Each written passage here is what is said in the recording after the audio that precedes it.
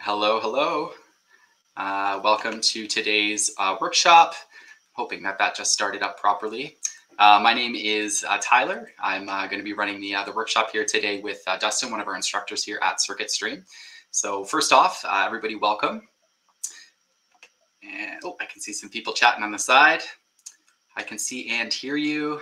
Perfect. I was just going to ask if we could do a quick sound uh, and um, visual check to make sure that everybody can see me and hear me okay. Uh, I can see all the hellos on the sides, so that is perfect. Hi, Nancy. Been looking forward to this. Uh, we have two. So uh, a couple of quick housekeeping things before we get going here. Um, normally, I just like to make everybody aware of the um, interface here. So we've got the chat uh, section off to the side. Uh, please don't hesitate to participate in the chat at any point throughout the presentation. Uh, there's also a questions tab and a polls tab. Uh, so the questions tab, you can put questions in at uh, any point I'm going to be running the presentation here, but uh, we do have other people on the back end at Circuit Stream who will be answering questions. Um, so you know, they'll, they'll be able to kind of do that. Now, if there's any questions there that we think uh, everyone would benefit from seeing, we may hold them and try and answer them as a group at the end. Um, and uh, also, if there's just any there that we didn't get a chance to get to, then of course we'll go through those if we have the time. Um, and then uh, today's session is going to be fully recorded. I like to mention that uh, several times. So uh, if anybody is looking to take notes or if you're looking for information, you are certainly welcome to, but uh, the whole presentation will be recorded and emailed out. So you will get a copy of the entire presentation either way. And then the uh, polls tab on the right-hand side, uh, that one, I don't have anything in there quite yet, uh, but I will publish a poll a little bit later on um, as we're getting closer to the, uh, the end of the presentation. So once you see that up, feel free to participate uh, with that as well. So um, without further ado, I guess actually, what I, I usually like to check out, where is everybody joining us from? Uh, feel free to uh, put it into the chat on the right-hand side there and let us know where you are coming in from. Uh, Vancouver, New York, Ohio, London, Texas, yeah, all over the place. San Francisco, Canmore. I was just in Canmore the other day. Uh, Toronto, Memphis. Awesome. This is great. And we've got uh, about 130 uh, people or so in here right now. So everybody welcome.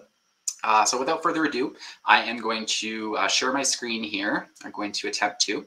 Um, uh, with full disclosure, uh, for some reason my system has issues one out of five times, and when I share the screen, it uh, likes to boot me out. So we're all going to cross our fingers and hope that that does not happen today. Uh, it hasn't been doing it lately, so I think we'll be okay. Um, but here we go. So we can share this up here. And I can get us started off with the presentation. Perfect. So uh, today, um, I guess I can start off here with a little bit uh, of an introduction for myself. Uh, so my name is uh, Tyler Trapp. Uh, I'm uh, education partnership here at Circuit Stream. I've been here for just about a year, but I come from a background of hospitality and tourism um, and a little bit uh, about myself. I'm a bit of an artist, uh, just you know, self-taught. I like to uh, draw and paint. And uh, more recently, I have switched into playing a little bit uh, with the iPad and uh, doing some digital art, which is a lot of fun. And then our instructor here today, Dustin, he is going to be taking over the technical session. so he's going to go through everything in detail, but I'm sure he can share more information about himself as well. But most notably, he has over eight years of experience in C Sharp and with Unity. Uh, so he's uh, excellent and we'll be able to walk everybody through the presentation here today. Uh, and then speaking of the presentation, uh, what do we expect to go through? Uh, so we're in the introduction portion right now. Uh, we'll be here for about 10, 15 minutes total, so just a few more minutes left. As soon as this wraps up, I'm going to invite Dustin onto the stage. he will take over and he will go through the technical portion. that is the majority of this presentation. It'll last for about 45 minutes to an hour. And then once that's completed, he will let me know I'll pop back, I'll pop back up on stage. Uh, we'll go through some resources and uh, information, especially for anybody who is looking at uh, our courses or you know has any questions for us. And then uh, we can go into the, the Q&A there at the end. So that's what we can expect here today. Um, to start really quickly, uh, who are Circuit Stream? So we're an educational company. We were founded back in 2015. Um, our founders noticed a gap in personalized training and education in the XR industry. Uh, XR industry is just a fancy umbrella term for extended reality, which uh, covers both augmented and virtual reality. And uh, to date, we have supported over 45,000 individual learners in uh, both XR and in Unity. Uh, these learners have taken part uh, in our workshops and our courses, and uh, obviously, you know, 45,000 is, is a huge milestone for us. I am aware it says 40,000 on the screen. We just upped that number recently, so trust me, it's 45 now. Uh, and then in terms of our team, uh, we are located all, all around the world. Um, we are founded out of Calgary, Alberta here. That's actually where I am located. Uh, Lou and Mike, the company founders, are also located here. Um, but you can see on the map, we, we do have people coming in from all over the place, which is great, uh, especially since we have students from all different time zones and locations as well. Um, so we are a uh, unified, um, uh, sorry, a Unity certified training partner. Um, and so what that means is we do have to meet certain uh, criteria as a company uh, and through our courses in order to qualify for this. Um, so training partners are approved based on their expertise, uh, their focus on quality education, um, and their commitment to providing the highest level of training available. So obviously we, we meet those standard or those criteria, and that's why we are certified training partners with Unity. And then, uh, you know, above all, CircuitStream is an educational company, but you can see we've had the pleasure of working with uh, some of the world's largest and most exciting companies. Um, you know, we could probably fill several sheets of uh, logos if we really wanted to. Uh, the idea here was just kind of to share uh, the range of uh, companies that we're working with, uh, and especially for people who are under the impression that uh, augmented and virtual reality is specifically within the gaming world. Um, you know, in fact, a huge portion of our students are going through for app development for industry use in all of these different companies, and, and like I said, many, many, many more. So we've 45,000 learners is quite a few people. And then speaking of Unity, so what is Unity? Um, if you've seen this screen before, uh, chances are you've probably been in Unity. And I guess uh, specifically, if you've seen this uh, muffin clicker uh, screen in front of us here, uh, chances are you went through our C-sharp coding uh, course because that is one of the things that we teach there. That's um, one of the uh, tasks that we go through. Um, but for everybody else, uh, Unity is a free 3D development engine for building games, simulations, and experiences, and it's uh, the easiest way to begin doing so. Unity's impact uh, Unity is currently used uh, to create over 60% of the world's AR and VR content and is also responsible for a massive share of the broader content application markets. Uh, in terms of a global impact, uh, Unity is, uh, sorry, apps developed through Unity are downloaded about 3 billion times monthly. And the software is borderless. It's uh, currently being used in over 190 countries globally and, and just growing with that. And then uh, how does this work? Uh, so obviously there's a lot more detail that goes into it uh, once you go through the course. Uh, but just to kind of summarize what the process would look like, you know, everything starts with an idea. Um, from there, you would build your assets and bring them into the into Unity and create immersive interactions using scripting and uh, C sharp coding. Um, once you're happy with your build, um, then what you would do is uh, leverage an SDK, which would be a software development kit um, to ensure that your uh, target device is compatible with your build. And then once you've done that, you can render, publish uh, your app, and then you've uh, completed the process. So, you know, again, that's that's kind of a quick summary of it. But overall, for somebody who was new to this, that's kind of what it would look like um, topically. And then uh, in terms of our academic offerings, we have several different courses that we offer here at CircuitStream. Um, on the screen here, you can see we have the 10-week uh, XR development with Unity course. We have the 10-week uh, interaction design and prototyping course, and we also have our six-month Unity Developer Bootcamp.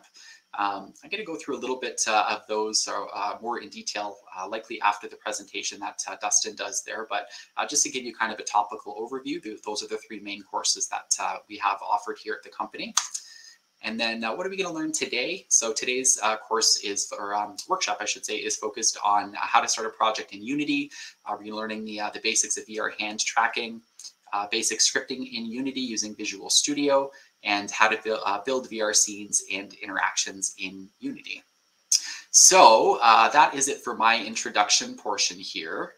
Um, I am going to stop sharing this screen now and bring myself back up here. And uh, we can uh, invite Dustin up onto the stage and uh, Dustin can get started here. Uh, Dustin, if you can hear me, you are welcome to pop up. Uh, let me just see uh, if I can hear, say something. Hello, hello, hello. Perfect, awesome. Awesome. All right, well, Dustin, um, you can hop in here and just give me a holler when you're ready for me to pop back in. I'll, I'll be waiting here. All right, sounds good. Hello, everybody. Uh, let me see if I can get my screen share in here. Um, share screen one. Here we go. Okay.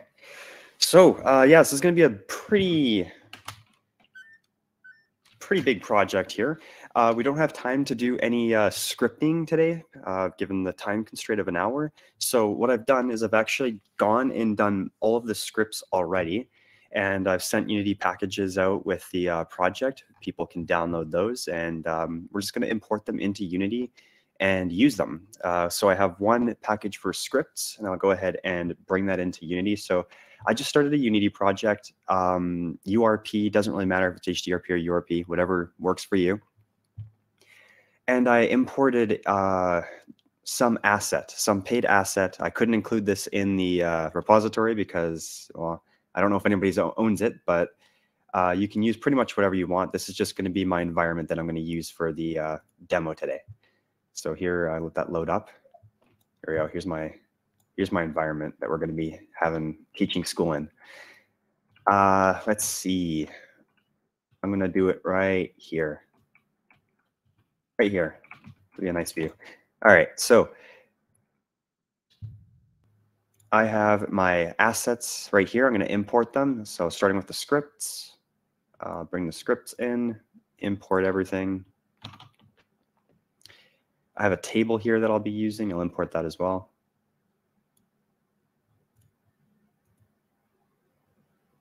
Perfect. And some hands. This is the uh, default hands asset that we teach or use in our uh, VR XR dev course.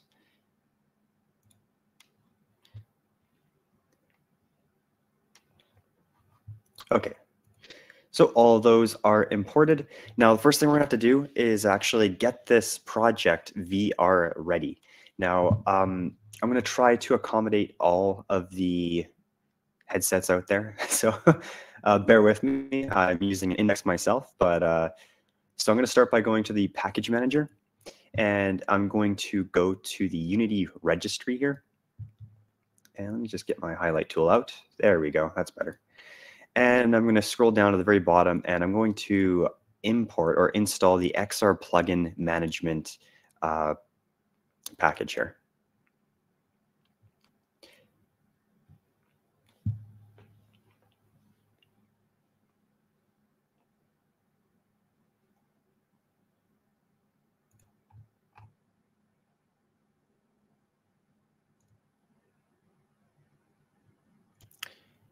All right, how are we doing on questions? Um, okay. All right, so with the XR plugin management tool downloaded, uh, the next thing I'm going to do is I'm going to install the XR interaction toolkit. This is going to be a way for us to have things like grabbing objects and interacting with stuff in uh, VR without having to do a lot of custom code. So I'm going to install this as well.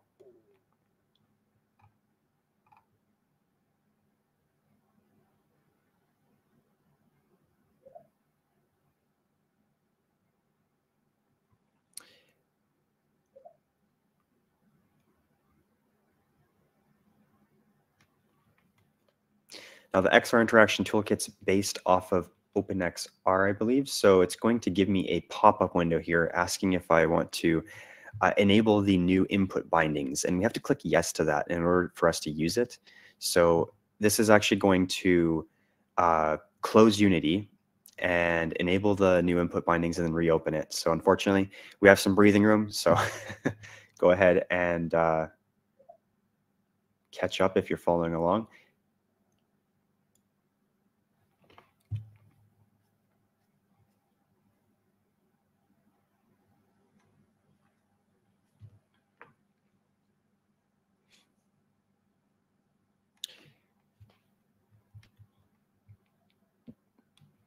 Now, if you did install or download the uh, package from Git, um, the only thing, so right here is my the whiteboard uh, Git project I had, and I just have this custom packages folder here, and this is where I put the scripts, the table, and the VR hands, if you want to use those uh, to make your own project. But this project's like basically already complete, so you don't have to um, worry about hooking up stuff if you're just going to use this. Okay, so my project's open again. I have XRI installed. I have the package uh, plugin, XR plugin manager installed. Another thing I'm going to do is I'm going to get us to uh, install the samples from the XR interaction toolkit, the starter assets. We need those to speed up the process a bit. And there we go. That's it. Okay. All right. So with that done, let me just uh, make sure I have everything. We're now going to have to enable VR for the frameworks that we want. So I'm going to go to the project settings uh, under edit project settings. And in here, we have the XR plugin management, the package we installed. Now, if you don't have, if you're using an Oculus Quest, you have to have Android support and you would uh, go to Android tab and click Oculus. Now, I'm not using an Oculus, so I'm not going to be doing this. Um, if you're using a Vive or an Index, then you'll click on Window and you'll enable OpenXR. This is going to install another package for us. Lots of installing.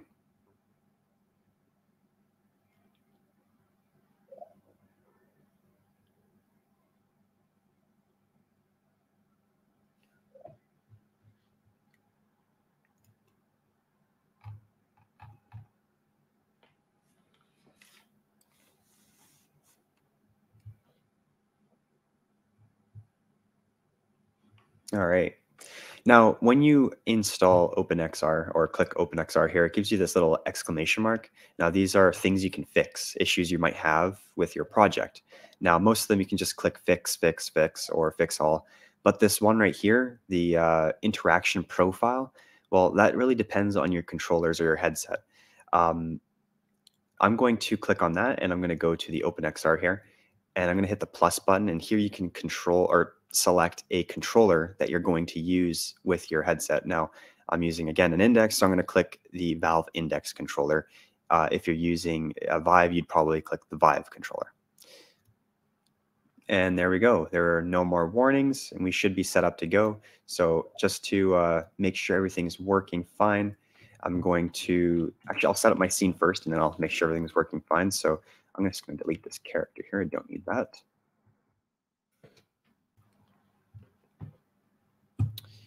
Uh,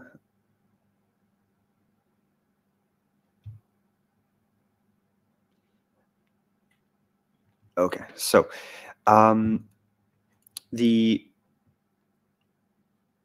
the packages do need to be installed for every new project.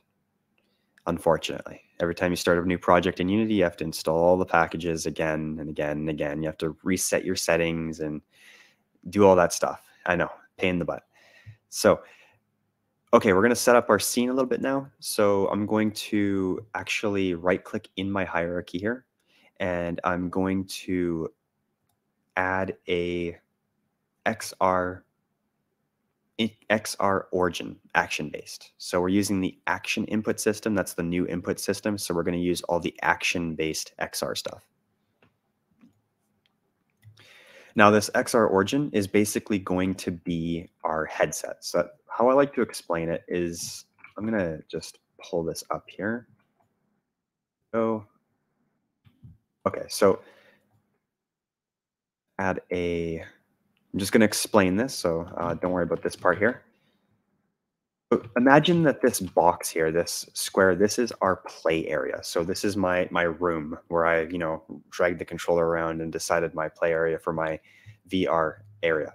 So when I walk around uh, my room, in my camera offset, I have the main camera, left-hand controller, and a right-hand controller.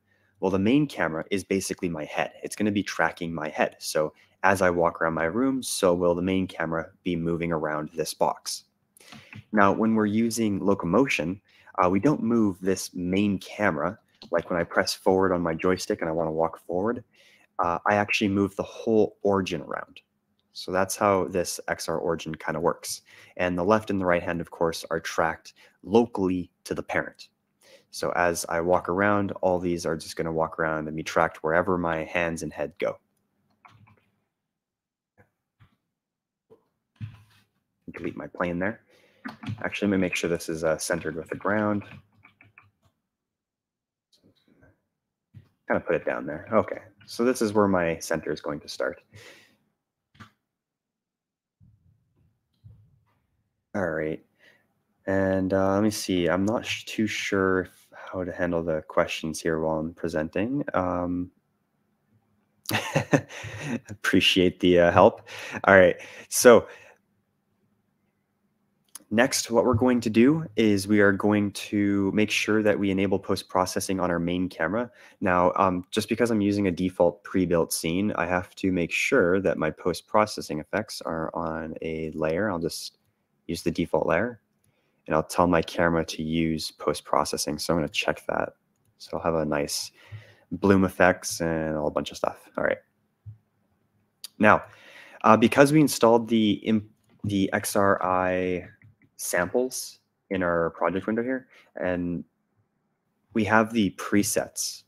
So with the left-hand controller and right-hand controller, we can use uh, these pre-built, I don't know what they're doing over here. But anyways, we can we can use these pre-built uh, settings to basically set it up really quick. Now, to make sure that I'm not messing anything up here. Okay, that's right. Cool. XR origin's a little low with that. There we go. So this is the preset button right here in the top right. On this preset button, uh, we can click on it and we'll see the left controller and right controller. Well, this is the left-hand controller, so I'll just select left hand. And this is the right-hand controller, so I'll select right hand. There we go. Now they're both tracking the left and right hand respectively. And we, they also give us access to uh, some input. So UI presses, uh, select actions, which is grabbing, activate, which is the trigger on the back of your uh, your weapon here, and uh, the haptics and a whole bunch of other things. Now, by default, they're using raycasts for the interactors. So this is going to allow us to use a, a ray out from our hand to interact with objects far away. I might change this layer. We'll see later. we'll see how much time I have. But uh, so what I'm going to do is I'm going to click on my interaction manager here, and we need to add a input action manager.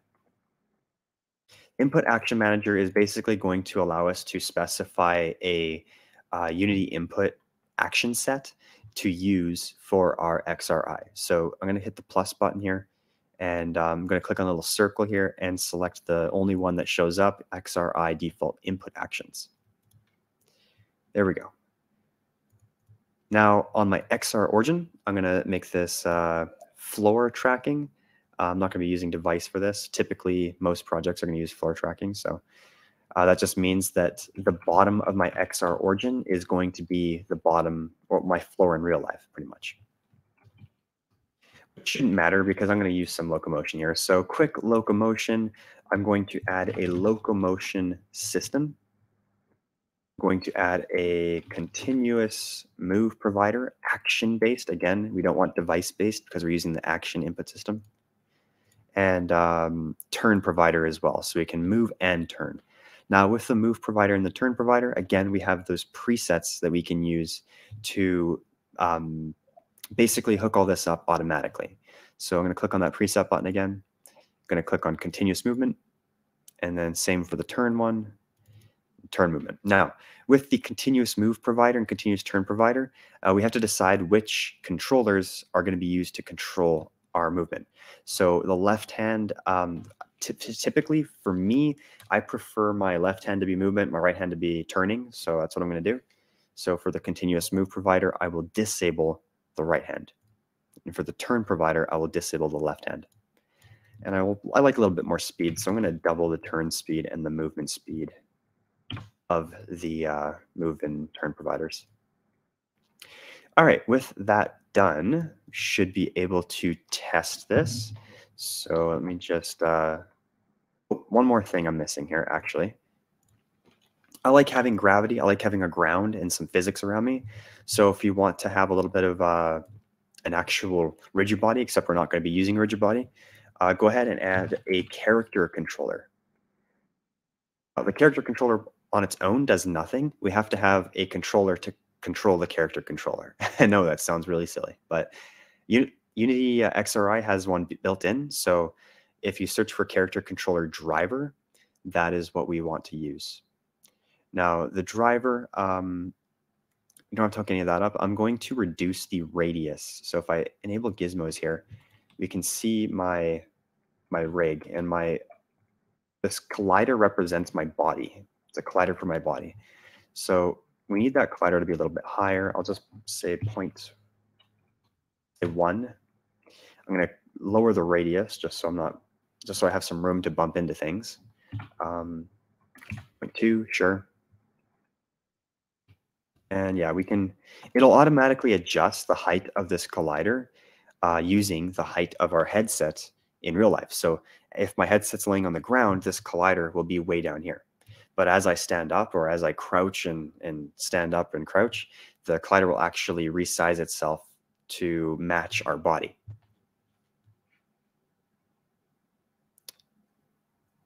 Uh, okay, no issues yet. Good, good. All right.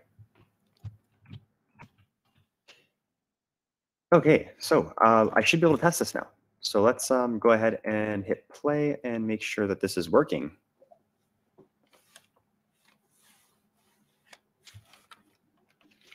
Give it a second to load. And here we are. So I have my interactors here, my little rays.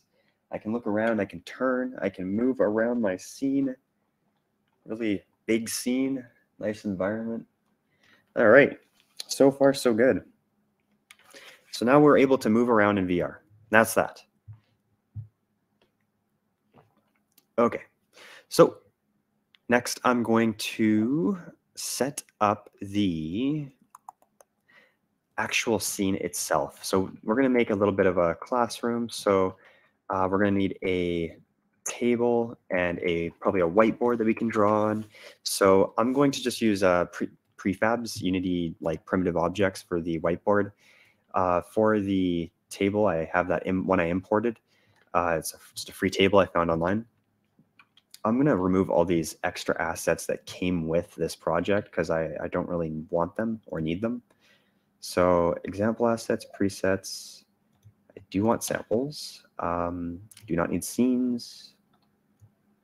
And I delete tutorial info. There we go. Delete all that.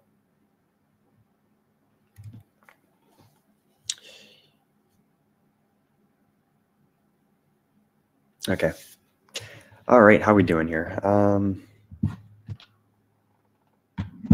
okay. So uh, in my import section here, I have a table. I'm just going to drag the prefab in here so I have a little table I can put things on. So I'm not bending over or anything like that. I'm just going to shrink it down and there we go.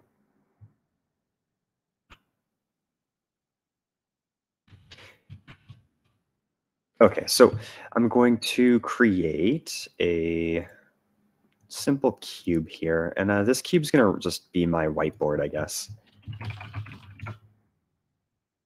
I'm going to move this cube their position here. Make it larger.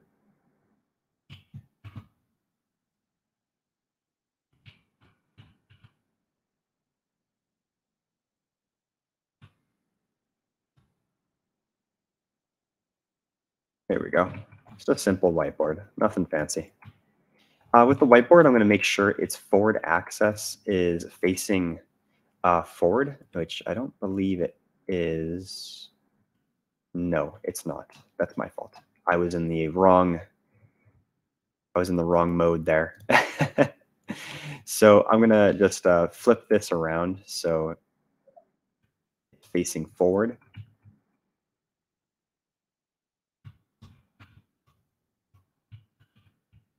There we go.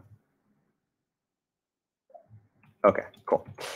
Now, uh, I'm going to create a quad onto this whiteboard. So this whiteboard is going to act as a collider. So our hand is going to, when we have hold a marker, we're going to collide with this collider. Our hand is going to hit it and kind of allow us to draw on it. Um, so that's the first part. And the second part is actually having a second mesh, which is going to represent the uh, texture. So we're going to have a texture that's actually that we're actually drawing. Now I'm going to just right click, create a 3D quad. There we go. Very simple quad. Now I want to make sure that this quad is exactly on the outside here. I don't want to be inside the, the whiteboard. So I'm pretty sure it's uh, 0.5. I'll just do 5.1. There we go. I'll remove the mesh collider though. Okay, so let's make some materials. I have a materials folder here. Um, don't really care about the skybox and delete that. I'm going to create the material that is white. I use that later. We'll see. Uh, another material. Oh, that's a script. I'm going to create a material that is the whiteboard. Create a material for the uh, whiteboard texture.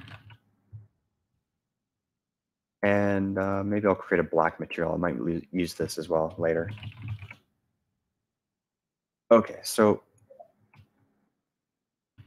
the whiteboard itself, I'm going to give the whiteboard material here. Oh, just going to drag and drop that in the materials section there. And uh, I'll change the material to be a unlit URP, since I'm in the Universal Render Pipeline, unlit, and I'll do transparent. We'll do a transparent whiteboard because I think they look cool. Uh, so I'm going to change the color of this to be fairly transparent. Maybe I'll do like a light blue here. And something like that. I might change it later. We'll see. Now with the quad, this is actually going to represent our texture. So I'll just name that texture. And I'm going to give it the whiteboard texture material. Uh, again, I'm going to have this as unlit. URP unlit, um, transparent as well.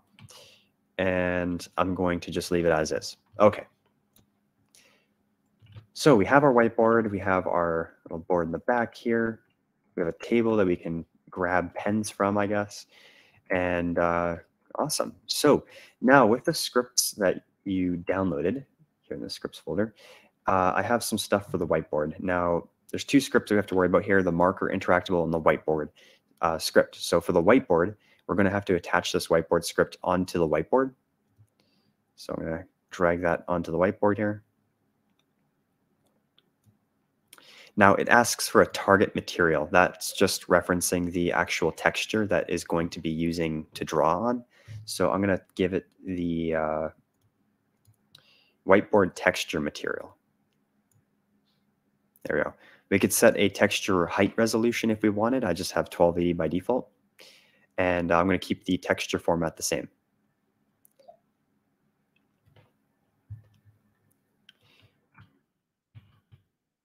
All right, so with that said, we need a marker. So I'm gonna, before I do the marker, I'm actually going to uh, put some hands inside of the XR rig. So in the left-hand controller and the right-hand controller, I have, uh, where did I put it? VR hands, here there. So I have some hand prefabs. I'm just going to drag those in and drop them on the left and right hand controller. And they're going to be right here.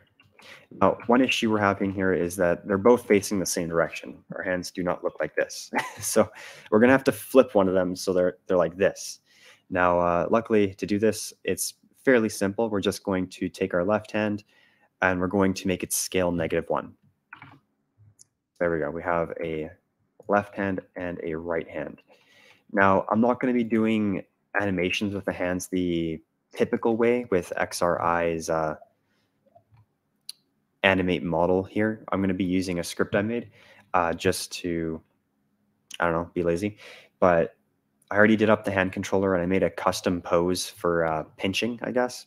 It's not great. Uh, so I'm not an animator, uh, bear with me. But um, so what I'm going to do is on my hands, I'm going to go to find my animator and I'm going to add my script, the hand animation controller to both of them actually. So on these hand animation controllers, we're gonna, uh, it's basically just like hooking up XRIs. We're gonna say, say use reference, and we're going to select what input event is going to cause this animation to happen. Uh, so for the pinch, I'm gonna make it the grab event, which uh, is called select with uh, you, the XRI kit. So I'm going to click on the little circle there, and I'm going to click, uh, this is the left hand, so left hand interaction select. Same with the right hand, use reference, right hand interaction select. There we go. That should allow those hands to animate. Now let's just make sure that this is actually working in VR before we continue. I like to do this in steps. So here we go. All right. Oh, pulling my hair. Okay, so here's my hands. Awesome. I grip and I can see I'm doing a little pinch interaction here. Cool. Cool, cool, cool. So far, so good. All right.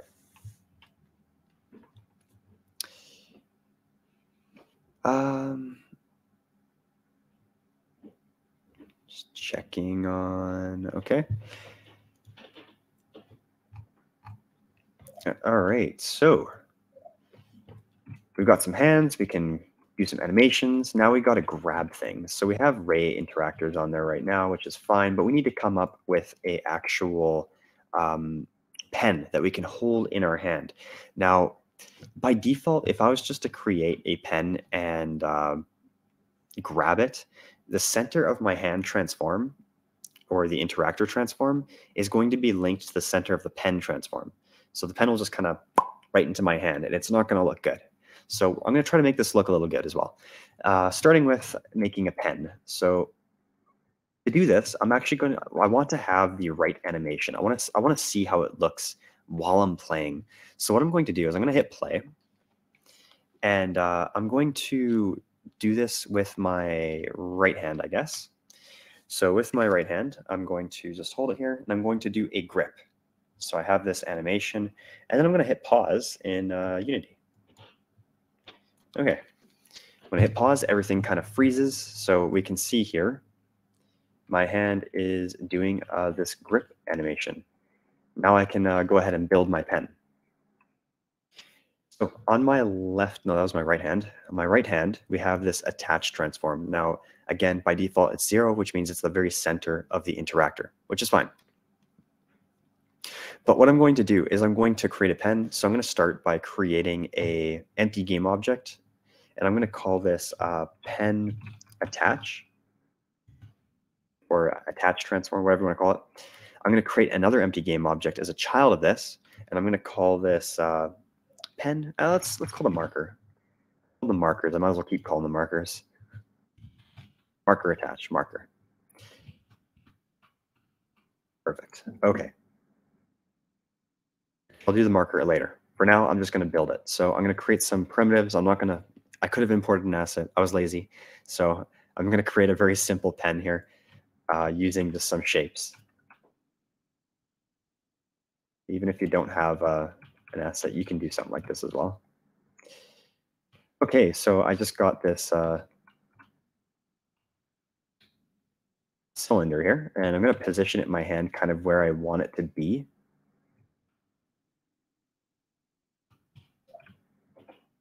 here. Maybe tilt it a little. Using T, Q, W, E, R, and T to uh, move these around and uh, position them.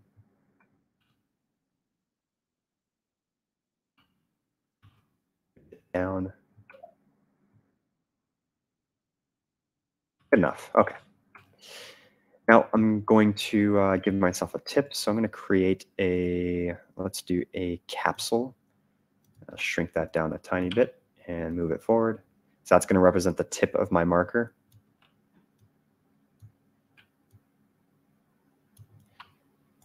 And uh, let's just make another capsule, just to elongate this a little bit.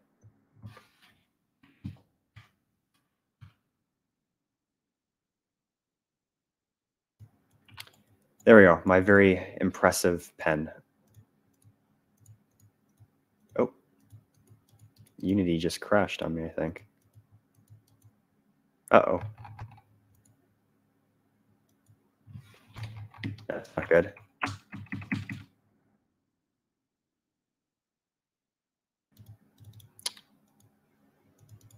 Come on. Oh no, why do I have these issues?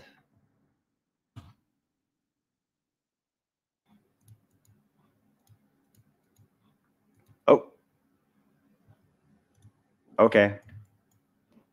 Suddenly works. All right, we're back. Uh, where am I here? Where did my, there you are. Okay. Cool. All right, where am I? There we go. I'm gonna go back to gripping you. Okay.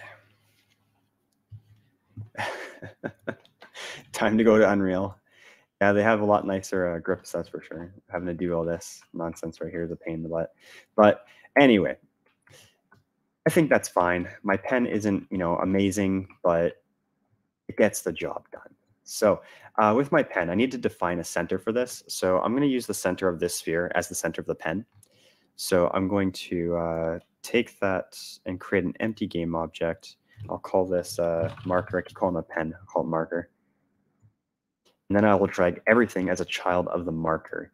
So this capsule here, that's going to be the tip. So this is going to be like the, um, the color tip, I guess. And now with uh, my system, I'm using raycast to detect when the pen is touching the actual marker board. You could use physics as well. Um, I found raycast was a little bit smoother for me, um, but you could use physics. So with a raycast, you have to define a tip of the pen. So I'm going to create another empty child here. I'm going to call this uh, pen tip. We want to make sure that it's on the very tip of this, which I think is exactly negative one. Yep. And we want to make sure that it's facing forward. So the blue axis is forward, which means I'm going to rotate this 90 degrees. So The blue axis faces forward, just like that. All right, this is pretty much how I want my marker to look, uh, give or take. Yeah, I'll move it a teeny bit.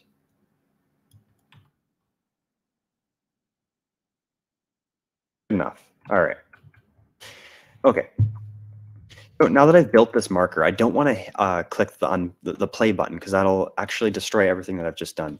So if I want to save this, what I'm going to do is I'm just going to drag it into my project window to turn it into a prefab.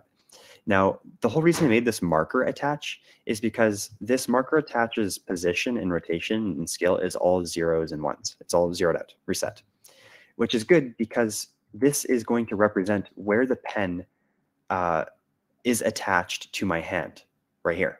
So the, the offset from here to my pen is uh, basically going to be the touch point. So to fix this, what I'm going to do is I'm going to take my marker, move it as a, put it as a child of the attach of the hand, and I'm going to take the marker attach and set that as a child of the marker.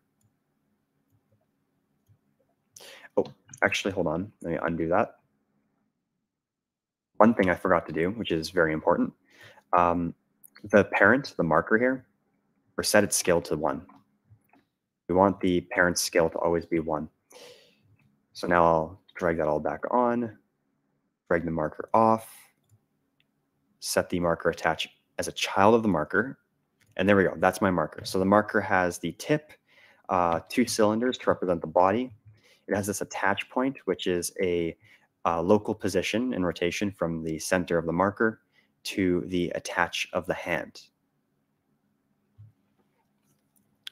Now, uh, with this, I'm going to take this marker, I'm going to drag it into my project window just to turn it into a prefab. There we go. And uh, that should be good. So I'm going to exit play mode. And on my table here, I will drag my marker onto the table. Here we are. A little offset, but that's fine. You can rotate this as much as you want. Doesn't really matter. Okay. Now, the marker itself needs to have a couple scripts. So I have a script called marker interactable, and I'm going to drag this and put it onto the root of my marker here. it'll automatically add an XR grab interactable and a rigid body. So these are the, uh, the XR grab interactable is the default grabbing interactable for XRI. It's built by XRI. And uh, it allows us to, it, it basically signifies an object that we can grab, pick up, and optionally throw. It allows us to optionally track position, track rotation, throw. Uh, we can control how hard you can throw it. Um, you can also change the movement type, which I'll talk a bit about later. Now, with the uh, marker uh, interactable script I have here, this uh, script basically allows us to define define the marker. So the script has to have a tip render and a tip transform. The tip render is going to refer to the color of the marker. So you could use the back here or the tip. I, I personally just prefer the tip. Um, the script could be changed to change the color of both of these if wanted, but I'm going to drag the color tip into the uh, marker section here. So here's the color tip, here's the marker, going to drag that in there. And now the tip transform refers to the very tip of it. So the pen tip, going to drag that in there as well. Thickness, um, I'll do two thickness. We could change that later depending on the size of the marker itself. And here's the color. So uh, for this, I'm just going to make it white, like pure white with a opacity of one. So it's fully opaque. Not that it matters. Um, going to, it auto saved this prefab. So I can close the prefab now. And um, I could duplicate this. I have two markers. There we go. And uh, let's say the second marker, I will give it a color of uh, completely black with a completely zero alpha, which means fully transparent. Um, we can also change the thickness so we can make it bigger. So this could be uh, four thickness instead of two, which means it would uh, it would erase more. So this will be my eraser and this will be my actual color. And you can define as any sort of colors you want in here, you know, green, blue, pink, red, whatever, uh, of different different opacities or whatnot. Okay, so I got two markers. Let me just uh, fix those up in terms of position here.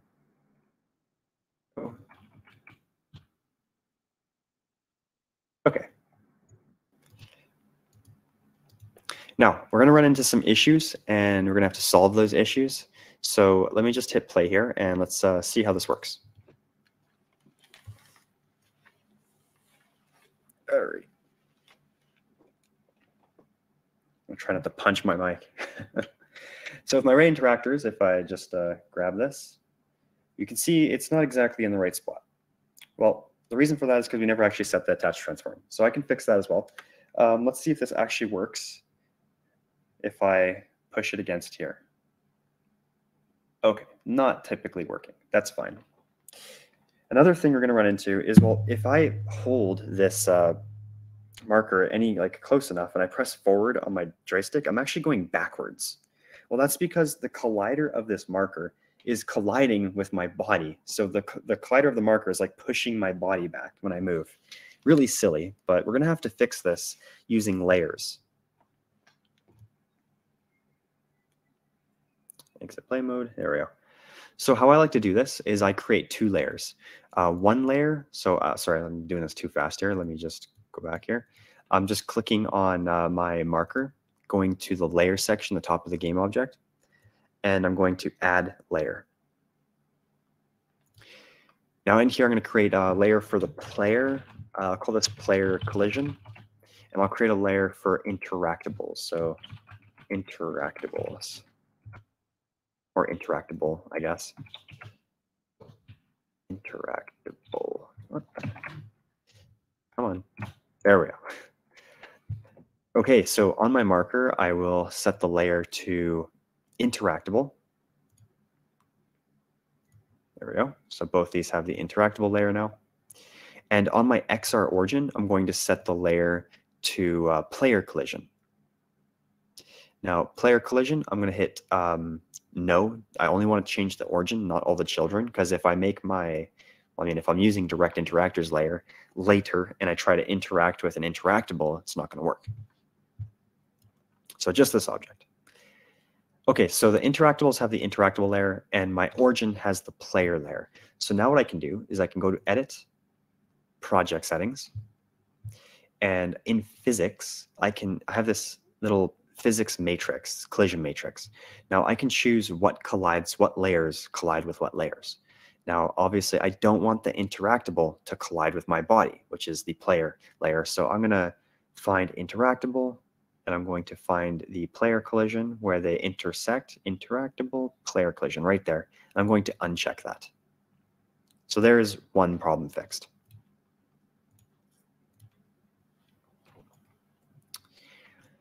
Okay. Now, uh, for the object not being oriented in my hand correctly, on the marker is one thing I forgot to do here, is uh, we need to make sure that the XR grab interactable attach transform is set. So the attach transform by default will just use the center um, of the marker, the default transform of the marker. But we can actually manually set it. So if I set it to marker attach, it will use wherever this is instead. Okay. Now I need to make sure that everything is set up correctly just before I continue on here. Oh, right. We didn't do materials. I should probably do that. So the pen needs some materials. All right. It's completely boring pen. Um, I'll make the grip here the my materials folder. There we go. Uh, I will make the grip black. So I'll set the color to black. Uh, I'll do gray for the outside, fine. And then I need a special material for the tip here. So I'll create a uh, new material. I'll call this marker tip. And sure, lit, that's fine. I'm just going to drag that on there. And think that's right. Yes. Save. Okay.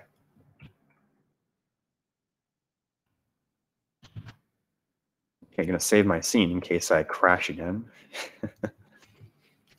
Let's see. See what new issues we run into.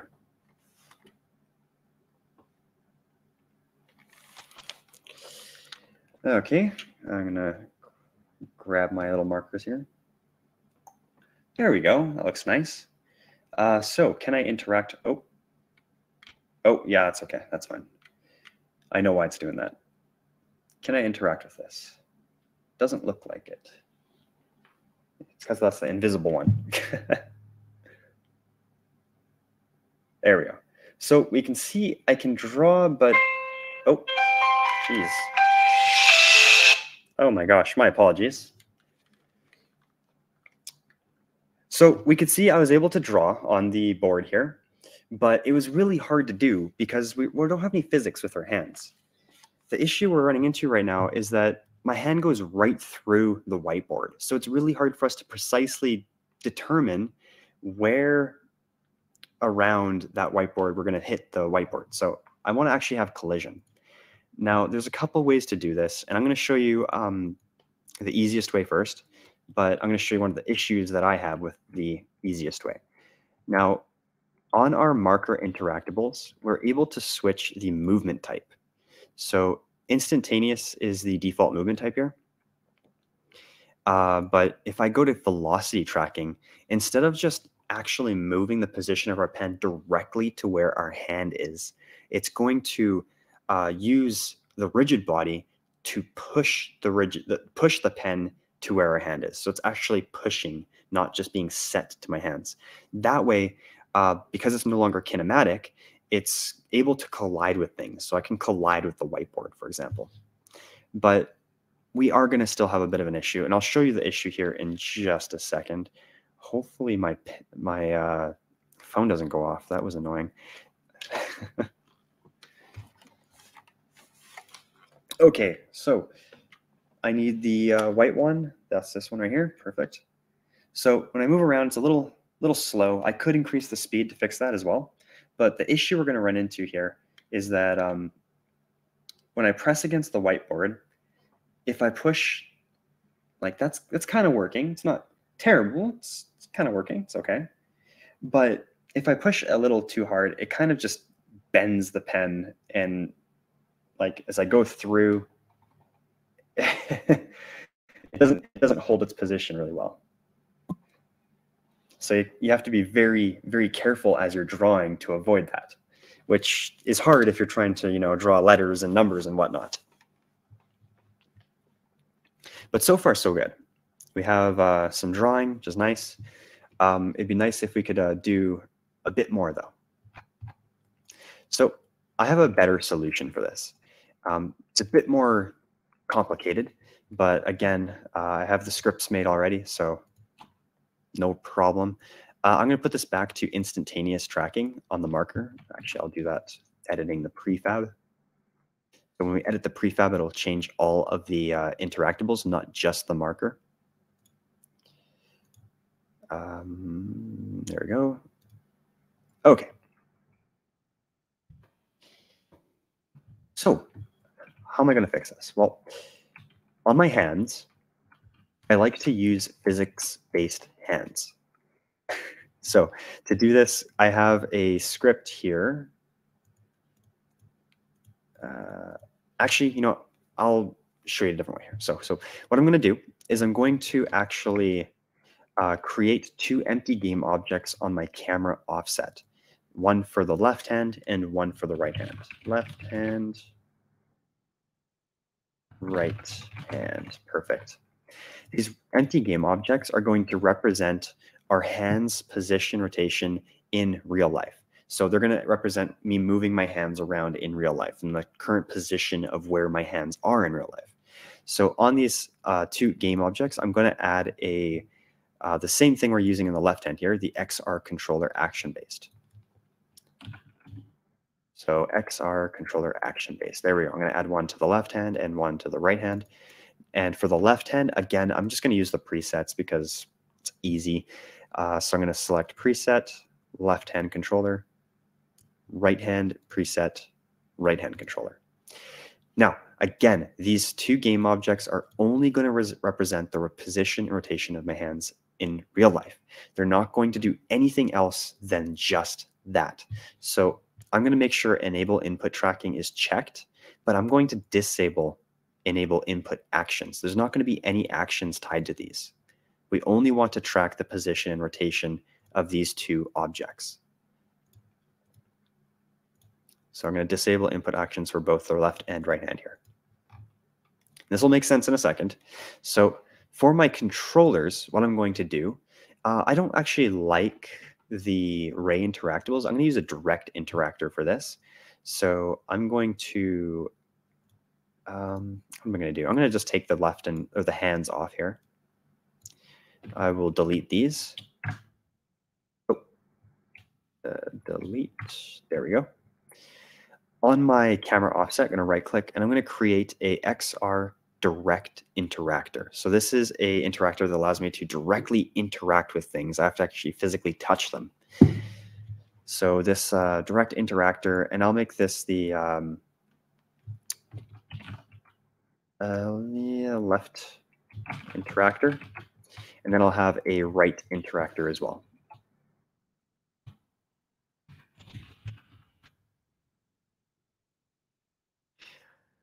I'm going to set this up just like last time. So using the presets, going to use the left controller.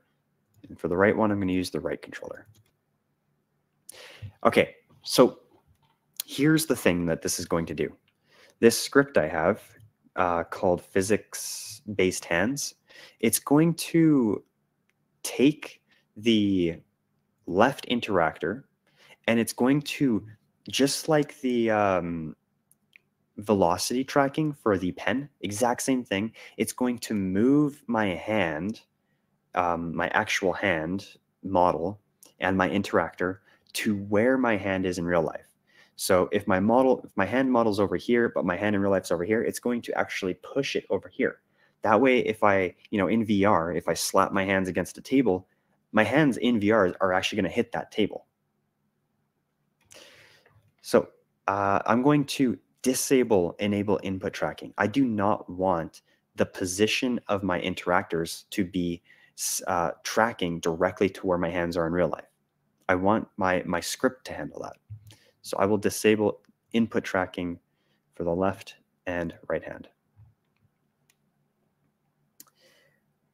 Okay.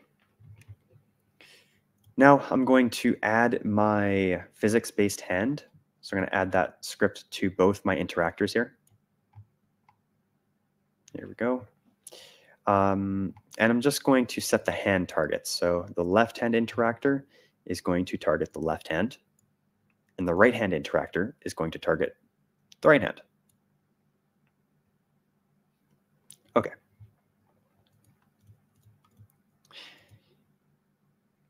Where am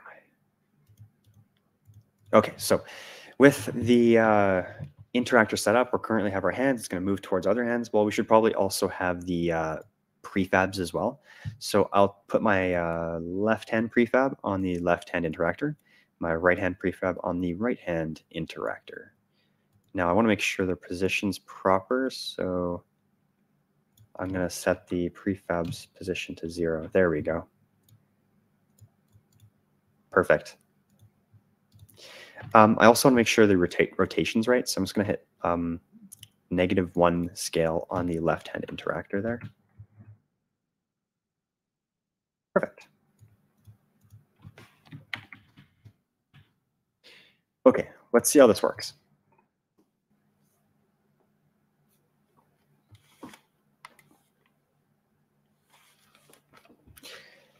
And turn around so I don't hit my stuff. So my hands now should, oh, maybe there's no collider there. Hmm, let me double check that. Oh, I forgot to put colliders on my hands. That's probably an important step. my hands need colliders in order to collide with things. Now, they do have colliders, the interactors have colliders by default. However, they are trigger colliders. Now, typically, you're going to want to do trigger colliders and a physical collider. Um, I recommend having the physical collider a bit smaller than the trigger collider. That way, if you want something to trigger, the trigger will hit first, but the physics will be second. So you can trigger something and then you can also collide with something. Now I'm just going to use spheres for this because why not? Uh, so uh, let's see here. We have a sphere for the left hand. Yeah, let's do the left hand. I'll just add a 3D object sphere. I'm going to remove the uh, mesh render and filter. And I'm going to set the radius to like 0.05. Sure. For now, I'll do 0.05 on both of these.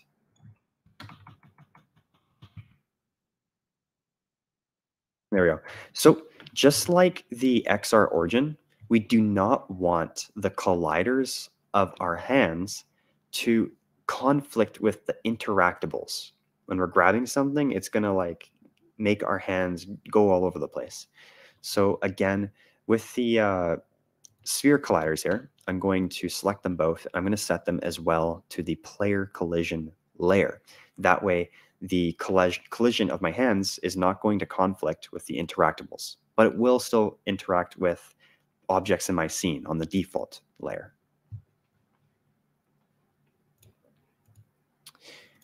Okay, now with uh, my collider set up here, let's just uh, test this out.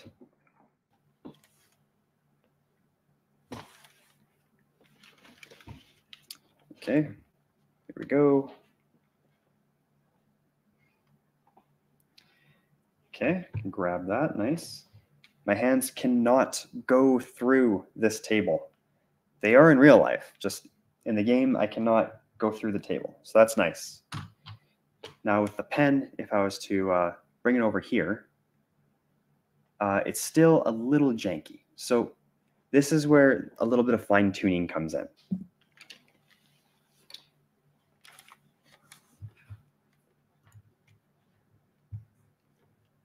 Oh, I actually didn't want to exit play mode. So what I'm going to do here is I'm going to grab a pen and um, I'm just going to make the grab hand, I guess. Or you can grab a pen and then hit pause. So I love to do this when I'm uh, playing around in VR, um, doing stuff and then pausing the game so you can test in uh, the editor.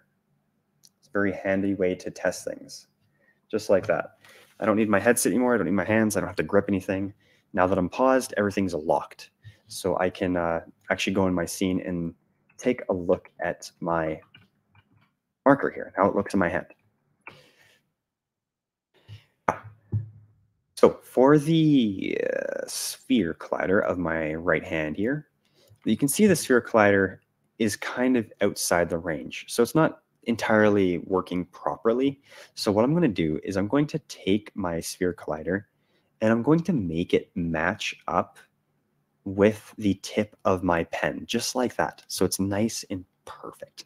Now, what the uh, physics-based hands does is it moves the position of my hands to the position of my hands in real life, but it doesn't it doesn't use physics to rotate them.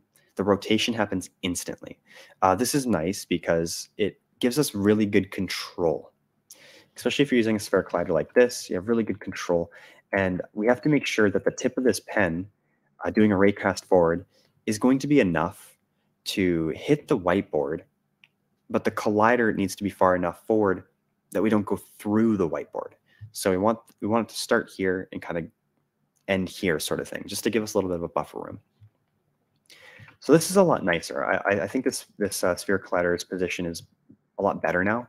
So what I'm going to do is I'm going to actually uh, select my sphere, and I'm going to uh, just copy the transform, uh, copy component.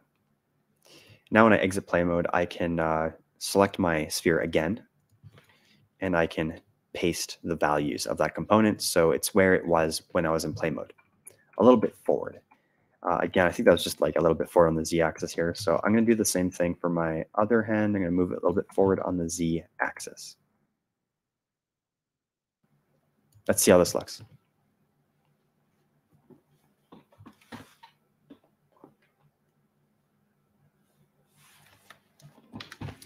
Now I'm trying to go a little fast here because I, I know some people may be curious on the scripts and uh, I didn't have time to do them with you today, but I, I would like to explain them if there's time, uh, what's going on. But uh, so here we are. Let's see. Uh, it's a little, little janky. So there's one issue I'm running into here. The hand isn't moving really smoothly with my hand in real life. So there's a couple ways we can fix this. Um, one thing I want to do is just increase the length of the ray a tiny bit, a very tiny bit. So on my marker, I'm going to increase the uh, ray distance to 0.015. And now what I'm also going to do is on my whiteboard, on the uh, collider here behind the texture, this one right here, when we're colliding with this and we're dragging an object across this, it's using default Unity physics. Uh, we can implement our own physics to make it smoother. So I'm going to go to my materials folder and I'm going to implement a new physics material. I'll call this uh, whiteboard. When you're drawing on a whiteboard, it's not usually, there's not much friction, right? It's usually pretty smooth. Um, especially when you're drawing on a magical one that's transparent floating in the air. So I'm going to put the friction to like, I don't know, 0.1, like really, really low.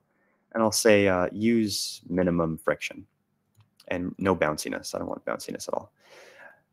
Next, I'm going to select my mm, whiteboard. There we go. And um, on the box collider for the whiteboard, I'm going to go to the material and I'm going to select my whiteboard material. So now it'll use that slipperiness. Okay, let's see how this, this feels. How am I doing on time? I forgot to start my clock, so. Okay. Look at that. That feels way better can actually draw faces now, kind of. one, oh, it's a plus. One plus one equals two. Oh, two. There we go. So that works. Uh, the white and then the the black one here, this is the transparent one, and I think I increased the width on it of it as well. But uh, it's like a transparent marker, so it just erases. Now I could um, give this marker like a bigger, I could make it bigger. I could make it like a, a nice actual eraser marker. I'm not going to do it uh, right now because that'll just take time and um, it's whatever. It's I'm sure you could do it if you know how to use Unity prefabs, but it's the exact same thing as what we're doing. Um, come on, come on. All you're doing is you're just adding this marker script, um, marker interactable script, and then it'll work. You'll be able to hit the uh, whiteboard and using a tip as the raycast, you can put the thickness really high to act like an eraser. So even on the one I have right here, I can put the uh, thickness to like 10. Um, and let me just uh, reset this to, oh, just the rotation. Reset rotation. There we go. There we go. So I'm going to hit Control D to just duplicate that. And um, I think two was my my number. Yeah. So again, you can just sit here and set these up if you wanted. I'll just do a couple just to show you how easy it is to have a bunch of different markers. So I can have one that's red, one that's yellow. Don't mean to do that. Uh, let's do a blue marker. There we go. Now, there's one more thing I want to explain before we're completely done here. Um, the interaction with the marker is not going to be proper. So here's my markers. Look at that. They have all different colors. So I have one that's red. There we go. One that's blue, which isn't going to show up as good there. But and then the erasing one, if I just try not to hit my, uh, there we go. Okay, so this is the erasing one. I bumped up the uh, thickness of it quite a bit. So if I touch this, you can see it's it's a lot thicker. It's a lot easier to erase this. Doesn't make sense, obviously, but so here's the issue. I set up my right hand to look nice with this marker. However, if I was to grab it with my left hand, mm -mm, that doesn't look right at all. Something's wrong. so the reason for this is because the attached transforms do not understand the difference between a left and a right hand, right? Our hands are not the same, right? This one faces this way.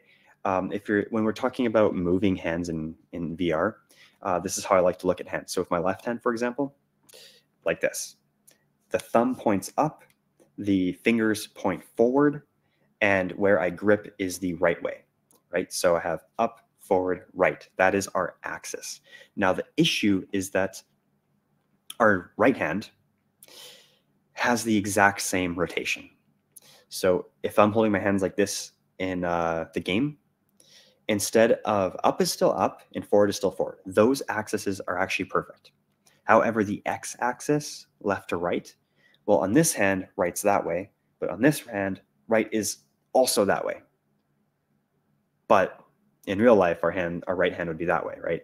Our hands are flipped, but XRI unfortunately does not understand this. It doesn't know that our hands are flipped.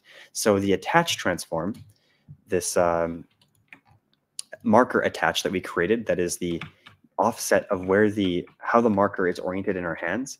It is not oriented for the left hand. It's only oriented for the right one. So to solve this, I made a script that basically flips this attach transform to the other side of the marker. So if I grab so if I grab it with my left hand, it'll flip the attach transform, which means it'll be oriented properly for my left hand. To set this up, all you have to do is go to your left hand, wherever I put it, left hand. And on the interactor, we're going to add that script, the flip attach on grab script. That's it. We just, we just add that script and it handles everything for us. So now it should just um, flip the attach for us every time we grab it. I see. And one and two. Oh, oh, that one's not working. What did I do? Eh. Doesn't look like it's working at all.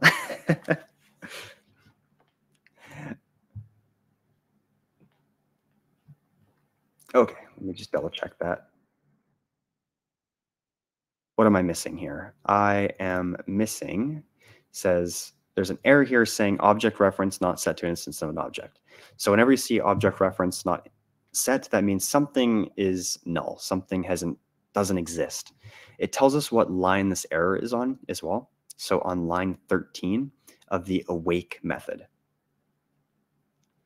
So if uh, my computer ever decides to load C sharp, we can go through debugging this. Is it open? Yes. So again, line 13, that's this line right here. And we can see that this line is accessing a interactor, which is uh, an XR base interactor. Now it can't find this interactor. So my only guess is I put it on the wrong game object. so yes, there is no interactor on this game object. That's the problem um, this is actually supposed to go on the left-hand interactor, not the left-hand uh, tracked object. So I'm going to put it on the left-hand interactor instead. There we go. Now let's test this.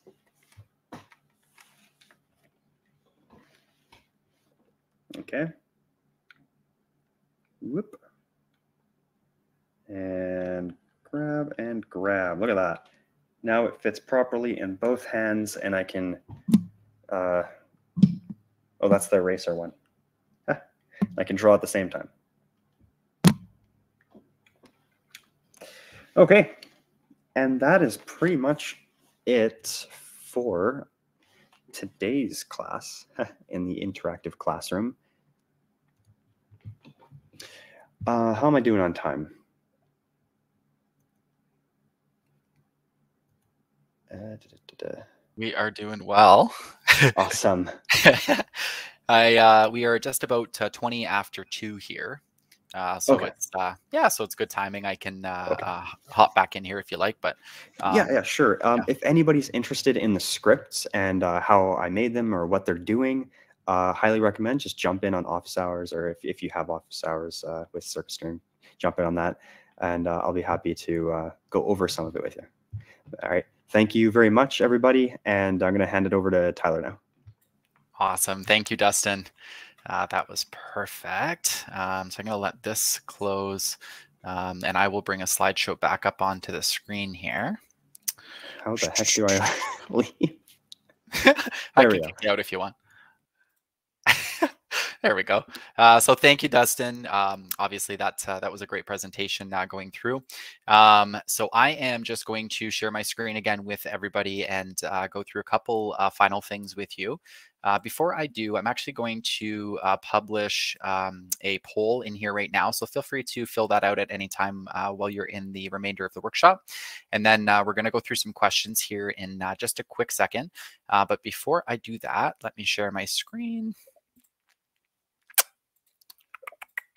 There we go. Perfect. And we don't need me. There we go. Perfect. So um, that was uh, the presentation for today. Um, I'm just going to go through here. And I'm hoping everyone can see my screen here. Um, oh, there we go. Perfect. Okay. Sorry for the delay there, guys. Um, so uh, I'm just going to go through some quick examples of uh, some of our students' work here, um, and then just go through some quick uh, course information, and then we can go to, uh, jump into the Q&A if anybody has any questions there. So uh, on the screen here, you can just see these are some examples of uh, some scenes that were created through Unity. we have some examples of some work done through using Vuforia for augmented reality. And then we have some C-sharp, C-sharp scripting and coding Uh, you can see some examples here up on the screen. Just always nice to share a few examples. Um, our students, you know, uh, obviously I mentioned earlier, we've uh, taught over 45,000 students, so uh, it'd be really hard to get them all up on the screen right now to show you, but uh, this is just a handful of uh, some of our students to give you an idea of kind of what they're doing, where they're working now. And uh, we, you know, uh, this uh, whole uh, presentation is recorded, so you'll get a slide copy of this. Um, but yeah, you're, you're welcome to uh, to look in, uh, connect, to reach out to any of these individuals on LinkedIn, um, or as you're kind of moving into the XR industry, as well as any of our other students there. Um, in terms of our courses, uh, we have a few. I'm just going to do a really quick uh, description of each. Uh, we have the self-paced uh, video course. Uh, this is, uh, you purchase this, this through the website. you kind of work through this at your own pace. And the idea is to give you a little bit of a taste of your first build for an AR project and to give you one to put into your portfolio right away. Um, if you go through this and it seems like it's uh, something that you're interested in, then uh, obviously the development and design courses could be a natural next uh, fit, uh, more, more likely to uh, the development side for that specific uh, pathway. But um, a lot of students bypass this and jump right into the 10-week courses too. obviously, it's both options are available there for you. the 10-week XR development course, so you can see it up on the screen here. It's uh, beginner friendly.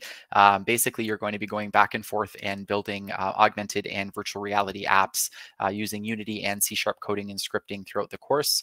Uh, you kind of bounce back and forth, and it's all uh, portfolio based as well, so that you do end up with, uh, I think, about seven projects that you put into your portfolio once the course is finished. Um, there's industry recognized certifications in partnership with Unity. Um, and then as well, we do have one on one support options for our course packages. Um, there's an advanced level package where you can include include that and if you'd prefer. And uh, very similarly, uh, the interaction design course is uh, structured almost the same. Uh, the biggest difference, uh, I guess, between the two is that the design course is focused on design and uh, is not focused on the development. So you're not going to be doing any coding or scripting. but in terms of structure, it's also 10 weeks. you're going to get the same three office hours, or sorry, uh, hours, three hours of instruction, five office hours per week. Uh, everything's flexible. There's three different time slots for both of those too. Um, and uh, oh, I should have mentioned uh, the development course starts on July 26th, uh, the next upcoming one, and the interaction design you can see is July 13th. Uh, we also have our Unity Developer Bootcamp. Uh, the next course for this one will be October 11th. Uh, this one's a little bit more in depth. It's uh, it, it, dives a lot more into detail into uh, Unity development overall, um, and it includes uh, AR and VR, but it jumps outside of that into Unity development as a whole kind of thing. Um, this one runs currently. We're running two of these a year. I think we're looking to do an increase there, but October 11th would be the next cohort. Um, you can kind of see a little bit of a, a breakdown there. We obviously have uh, full syllabus options for all three of our courses that we can share. Um, in terms of certification, I uh, mentioned earlier that we're partnered with Unity. So uh, all three of the certifications that you can see in the middle of the screen there would be um, offered through CircuitStream uh, in partnership with Unity. Um, the difference is, is once you take the uh, developer bootcamp, you also have the option to go one step further uh, through the Unity's website and uh, do their um, associate certificate level. Um, the cost is included um, through our bootcamp course. So basically, once you've completed it, you would just, I think you have a year or so to complete the Unity certification as well. Um, some people ask me, you know, what's uh, uh, the benefit of both? Uh, we are partnered with Unity uh, in that sense. So if anybody uh, from a company perspective is looking to hire somebody uh, with Unity level certification, we would be qualified in that sense.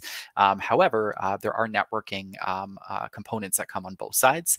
so if you can kind of work your way into the XR industry and tap yourself into both CircuitStream's network and Unity's network, It's certainly not going to hurt anything as you move forward there. So that's the certification uh, community and support uh, beyond the uh, the lessons themselves, we've also created a pretty robust community of XR learners. Uh, we have students, alumni, um, all of them get lifetime uh, lifetime access to all of the material, um, as well as being part of our Slack community. So uh, while you're in the course, uh, once you've completed the course, um, as long as you like, you are welcome to interact with all of our students, our staff. Um, in fact, a ton of our students end up collaborating together and sharing ideas once they've taken the courses with us, especially if they're, you know, one is doing development and the other is doing design. It's, it's a really good way to infer, uh, information share there. Um, and uh, you know, for the at least for the uh, the ten week courses, the boot camp, you do have to have a little bit of experience. But uh, for anybody looking to get into this, uh, there's really no fear. You know, you don't have to worry about being a beginner. Uh, you don't have to have any Unity experience uh, or any coding experience. usually, what I say to people, as long as you're kind of aware of what you're going to be learning, you don't have to have experience to jump into it. we've curated these courses so that they are completely beginner friendly in that sense. Um, and then in terms of pricing, always really nice to know what the uh, the course options are. Uh, we have both a, a, starter and a plus package for the development and design 10 week courses. Uh, the pricing you can see is in US uh, dollars, uh, 3,950 and then 4,950. Uh, the big difference with the plus package is that the plus package comes with an additional four weeks of C sharp coding and scripting, as well as 10 private hour sessions with the instructor. Um, so the private sessions can be used, you know, some people just, some learners benefit a little bit more from one-on-one one time. Uh, so they utilize, utilize those sessions to kind of uh, cover information from the classes. Uh, others, um, you know, would utilize the classes and then uh, prefer the, the private time to be able to go off script a little bit. Uh, you know, for example, maybe you wanted some information through Unreal and it's not necessarily necessarily part of our current curriculum. some of our instructors may have some information in that sense that you could kind of learn in the private session. So just an example there. Um, and then in terms of payments for our courses, you can pay for any of the courses up front. Uh, for any of the uh, students that are coming to us from the US, uh, we have a, uh, a, finance partner in the US called Climb Financing, and you can set up, I think, up to about a five year. I think there's um, 12 month, uh, 20 month, and five year options. Uh, don't quote me on that. We'd have to just double check. But uh, either way, the, the, the bottom line is there's finance options for US students. And then anybody outside of that, internationally, outside of the US, we would have finance plans available directly through CircuitStream. you can just ask the, um, the admissions advisors for that. And then speaking of the admissions team, it's also almost like I set this up this way. Um, these are the four individuals who are currently running our admissions for both um, the uh, university and the um, uh, main course. Um, we should have, I'm not quite sure, um, we are partnered in terms of um, the courses with several universities. Um, so we can share that information with you as well, uh, both in the US and Canada. Uh, my apologies, I usually do have a little bit of a slide included here today, uh, or included in this that I didn't share with you today, but uh, I didn't include it today. So if you have any questions about uh, any of the university uh, options through us as well, please do reach out. Um, and then you'd likely be connecting with Leanne or Stella, Shoshana, and then Roham is more on the direct side. So um, uh, oh yeah, some links here as well. So if you were uh, looking to access, uh, this is some of the school links that we have. Uh, the CircuitStream link is directly at the bottom there. This is going to take you into the uh, the course uh, website information. and again, this this whole presentation's um, going to be sent, recorded and sent to everybody. So these links will be in there, but feel free to screenshot if you'd like to. I'll give you a quick second. All right. And then that's it. That's it for the actual formal part of the presentation here, guys. Um, thank you everybody for joining us today. Um, I'm going to go ahead and close the uh, presentation. And then uh, we can invite uh, Dustin back up onto the screen if you're still hanging out there, Dustin. And uh, in the meantime, I'm going to open up the, uh, the questions here. And Dustin, did you see any questions uh, that you wanted to jump into right away, or did you want me to just pick one over here? Yeah, yeah. So um, there's been actually a couple questions about multiplayer. Um, I even mentioned this when when we were deciding to do the workshop. Like, yeah, doing a whiteboard's cool and all, but man, would, would it be really cool to show multiplayer? But uh, the truth is, we don't have time to show multiplayer. I mean, of course, I could have some pre-built scripts for people. I already, I have some pre-built scripts already, and I can show you how to hook them up. But even that requires too much time. So I'm not promising anything. If we're going to do a workshop on it in the future, it'd be really cool though. Hey, Tyler, just saying. Yeah. But uh, uh, if you are interested in doing networking, uh, we do have instructors here, myself included, that are experienced with networking. We can absolutely uh, help you bang out a project that you can do VR classroom with your friends across the world.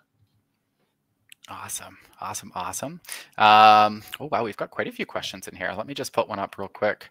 Um, so is XR design course a little bit easier than this? Um, depends on what you would classify, I guess, as easier. Um, if you're somebody who uh, finds coding and scripting to be a little bit challenging, or if it's not something that's of interest to you, uh, I would usually suggest the design side would be easier for you. Um, although there's obviously still some work on both sides. Is that accurate, Dustin? Uh, yeah. So the XR Dev course is a lot more uh, developer based, working in Unity and um, setting interactions up, doing programming. Uh, and the design course is a lot more focused around the design of a game and building out the UI elements and all that stuff. Awesome. Yeah. So people who aren't into the uh, the coding side would be better suited or might like the design side for sure. Um, so let's see here. There's specifics uh, CIDR uh, repository you'd recommend finding free assets. Here, I can do that one. I'll let you answer that one, Dustin. Um, oh, geez. Yeah. Uh, there's tons of materials out there. So, uh, for example, the table that I found, I, I just opened Google, typed in uh, old wood table model, and I got like th three different search results that took me to different websites. So, um, see if I can remember them all by heart here. Uh, but we have the Unity store, the asset store. Um, lots of free assets that you can use there as well. Um, and then we have TurboSquid, good for free assets. Uh, I don't have my list open right now. I have a list of like a bunch of resources that I usually give to my students, but uh, I'll come back to this question. I'll go find my list, but I'll come back yeah. to it. I would have just said the Unity asset store. So the fact that you have a couple more to share is even better. So that's perfect. Um, so let we'll we'll come back to that one there. And then uh, is there any way to support multiple controllers? Are these packages you are installing just specific to your controller uh, as the creator? So this would be for the presentation, I guess. Yeah. So I assume they want to have two headsets running on one game because I feel like in a, in a VR classroom, you're, you're probably thinking more about networking, right? So I'm wondering if the question is more, how does the networking side of this work? How do you interact with other people inside this single instance of a game? Because um, in Unity, typically you just have the one XR rig, and I don't think you can have more than one. I actually have never experimented with that, so I don't know. but uh, yeah, I, probably I, I, assume you mean having networking involved, uh, and how that works is you typically have uh, all the people that are inside your game run their own instance of your application. They have their own instance of the application, and all there's these applications, all these people that are connected, are, they just sync everything back and forth between all the different people, and that is how you would have a VR classroom. Awesome. Awesome, awesome. And I can see we've got a couple questions here in, in terms of headsets. So rather than kind of go through each of them, um, do you want to just do a, like a really, really quick overview of uh, like the top maybe three headsets that you could kind of, um, like I would usually recommend people do an Oculus. I call it, call it the Starbucks of headsets. It's easy. It's not uh, overly expensive. Uh, but is there any anything there that uh, you'd want to share about maybe the top three ones that people could look at? Um, all I know about in terms of headsets is the Oculus Quest uh, one and two, I guess two now, and then the Index and the Vive. Those are the, like the the three mains that I know about. Um, Index, I believe, is being outclassed by a brand I can't remember the name of, but it's as like up until now, it's been the best in terms of um, field of view and uh, resolution. And the Quest obviously is the cheapest option with uh, it being non-tethered, which uh, is great if you're looking for a really cheap, easy, easy to use headset. Um, the only downside of the Quest is, of course, you have a limit on the performance of your game or whatever you're running in the headset. Uh, some games you can't you can't actually run on Oculus Quest 2 standalone. However, you can use things like AirLink or the link cable to connect directly with your computer to run pretty much any game. That way it uses your computer's GPU and CPU. Awesome. Were there, were there limitations with Quest and uh, Facebook specifically? I had somebody ask me that recently as well. Uh, no, there's not limitations. It's just you have to have an account and be logged in to okay. use the Oculus Quest 2. Perfect. Okay. And then I've this one looks like a longer. I feel like this one's going to be good for you to to respond to. Uh, hardware requirements for doing this Unity or similar VR development projects. Are there any cloud-based development server offering uh, coming to the market? Hardware requirements for doing this Unity or similar VR development projects. Are there any cloud-based development server offering committed? As developers. Cloud-based development server offering coming. Okay, this is like three questions. uh, so we actually do have um, a blog post on the hardware requirements. Um, would, would somebody be able to find that for me? Um, so it goes over all the hardware requirements for different sorts of headsets and what would be required for our classes and all that stuff. Um, Oh, I can see the second part of this. Yeah. So they're basically just saying so we don't have to buy a fancy computer uh, to be able to take the course. And I and part of that too, you actually don't need a, an overly fancy computer to be able to run Unity, right? No, uh, you don't. It, it's it's nice. Uh, it's nice to have a fancy computer, have things be faster, but it's not required. yeah. As long as you can run. Um, so I do recommend if you're if you're really interested in being a developer, really interested in working with Unity and doing VR, um, you know, you don't you don't have to have a good computer, but I recommend you have a good enough computer where you can use your headset directly from your computer. It like just how I was doing it today. I was able to put my headset on. I was able to interact with Unity, flip it back, test it, go back to Unity. Being able to do that's really nice if you're using Oculus standalone, you have to make a build and send it to your Oculus, and it's slow. It's it's a slog. Uh, it's not fun to develop like that. All right, so I think that one did that one. And then um, just kind of looking over the questions here, instead of shifting to the origin of the interactor on your head to allow the pen to touch the whiteboard, is it possible to use a collision at the, oh, this is definitely a question for you. so uh, there's a couple things going on in this question. I Actually, I was reading about it over um, before, and okay, so shifting the origin of the interactor on your hand to allow the pen to touch the whiteboard. I assume you're talking about the collider on your hand, not the actual attached transform of the hand, because I never actually changed the attached transform of the hand at all. I only changed the attached transform of the pens specifically.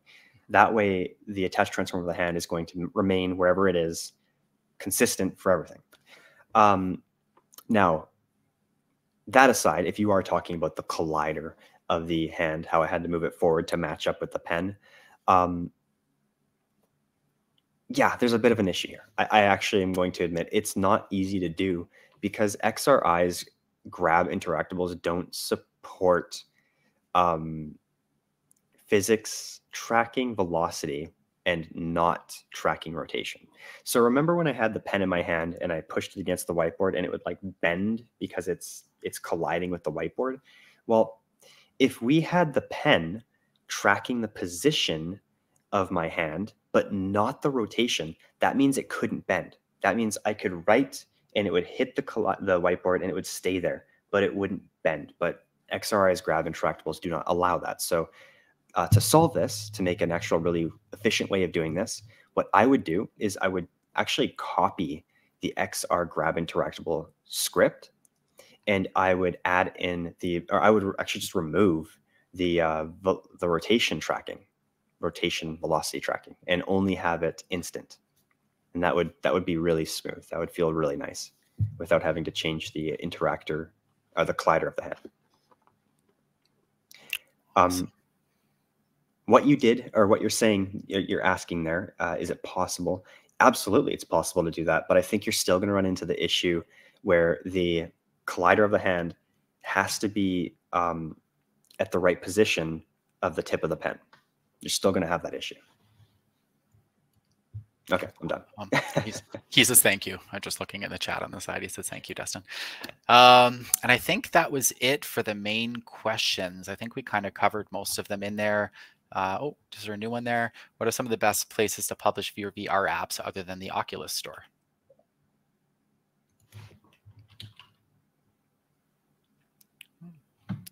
Did you see that one, Dustin?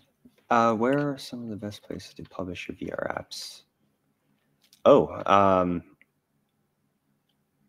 I mean, there's a lot of common places like, uh, I mean, you have the Xbox store, Microsoft store, you have the Steam store, you have the uh, Epic store. I think even I don't know Google probably has a store by now. There's a lot of different stores out there. Um, if I was just going to publish a game, I'd probably take a look at the different offers available. Uh, from my understanding, Epic might have better the best offers, and uh, then probably Steam is the most popular store. It's probably where you get the most um, traffic for your game. And then we just got a question here about, um, you know, what the, the benefit of creating a, a VR classroom, like uh, uh, the focus of today's. I mean, maybe you could explain how that could be used uh, for different types of applications or. Um, drawing on a whiteboard's nice. Like, I think it's cool, it, it, whatever. And it could come in handy during a class. But honestly, I don't think that's the selling point of a VR classroom. I think the selling point of a VR class, other than being able to, you know, teach from home and have students at home, is you can do a lot more in VR. You can be, you can instead of going on a field trip somewhere, you can just go VR somewhere. You know, you can go to some crazy mountain, and you can have a area like there's a lot of, what's the word? Um, in, instructional, not instructional. There's there's a lot of places you can go that are that teach that are learning. You can learn things you can learn about plants you can learn about trees you can learn about animals and you can do it in vr with your class. Like that's it and having a whiteboard's nice uh, obviously it's being able to draw and it's nice but i think just teaching in general in vr is is the future honestly. It's it's incredible the amount of stuff. And even with that said in Circuit Stream i've only been here for a year but we have tons of students working on projects that are teaching, especially in stuff like construction work, things that are dangerous, things that require you to do precision, um, medical, lots of medical teaching as well. A lot of great applications for um, teaching in general in VR, um, not just with a whiteboard, but. So the VR classroom allows you to kind of do things that a physical classroom wouldn't. I mean, and you know, there's there's mm. there's there's um, benefits Cheaper, to both for sure, of. but absolutely, absolutely. Um, I, so yeah, so I Mike, see, a, hoping that helps uh, answer. Sorry, go ahead, Dustin. Uh, got a sorry, me here. Um, actually, with the AirLink, I play in Unity and put on the headset for everything. Come, yeah. So uh, AirLink or the uh, the Link cord, uh, as long as you as long as you can get those working uh, absolutely, it's great for uh, VR. But again, with AirLink, it's also using your computer's GPU and CPU to broadcast back and forth through your headset. It's not using the little chip in the little Android chip in your headset. So Air, AirLink's definitely a great choice as well. Perfect. And I, th- I see Dayon is in the chat there. He's answering everyone really quickly. I think in terms of the questions, uh, we've gone through all of those on, on the right. I think they've all been answered. Um, so I'll just give uh, one last minute here. If there's anybody uh, that still has a question, uh, feel free to pop it into the uh, questions tab. Um, I think, are we a little over? Or I don't know if we're supposed to be done at uh, 2.30 or 3 today, but either way, I feel like we're doing good for time here. Um, awesome presentation. Uh, I don't see anything else popping up in the side here. So uh, just one last time, I wanted to note for everybody remaining here that this will be fully recorded. Everybody will get a copy of this via email. so if you'd like to go back, the other side too is our YouTube page houses all of our previous open houses and workshops. Um, so outside of this one specifically, you can actually visit the, the, page and go back and kind of go through some of our previous presentations too. Um, but with that, I think we can leave it there. Um, just looking off to the side, we've got some thank yous coming in. Absolutely, thank you as well for joining us today. Uh, Dustin, did you have uh, anything else to uh, leave us with before we go for the day? No, no. Thank you very much, everybody. It's oh. great teaching and doing this workshop. I'm excited to do another one. Awesome. Yeah, we'll probably be back here in uh, a couple weeks together. But um, so on that, uh, enjoy the rest of your week, everybody. Have an awesome weekend and uh, look for our workshop coming up next week. Okay, cheers.